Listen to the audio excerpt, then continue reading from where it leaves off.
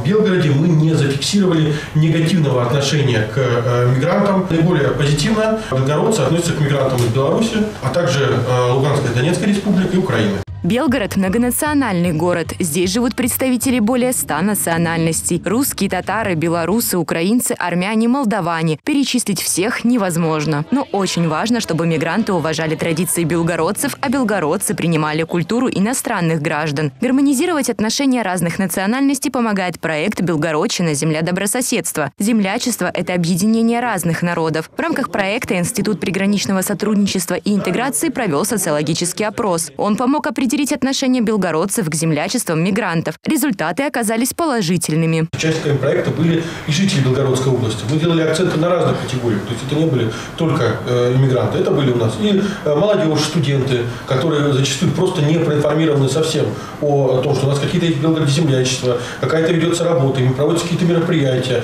Они э, демонстрируют, показывают свою культуру, свое историческое наследие. И, и более старшие категории. То есть большая задача была именно проинформировать населения региона. Белгородская земля всегда была территорией добрососедства. Привлечь людей к решению общих проблем и сплотиться – важная задача в реализации проекта. А социологические опросы широких слоев населения позволяют определить отношение местных жителей к мигрантам. Исследования ученых отличаются тем, что их делают на благо общества. И не все читают э, сложный научный язык, то наша задача как раз популяризировать, в том числе и такую сложную тему. Потому что, поверьте мне на слово, вот Александр Владимирович очень четко сказал, к мигрантам не везде хорошие отношения.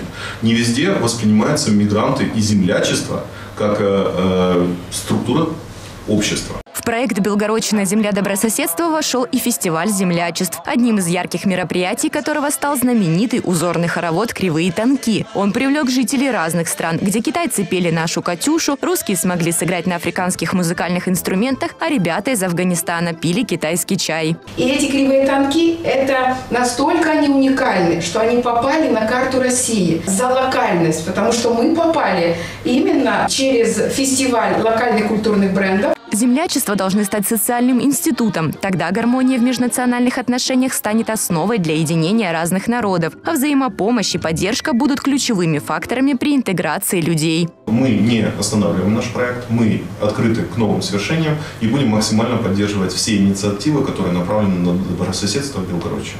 Екатерина Скляренко, Роман Юрин, Белгород Медиа.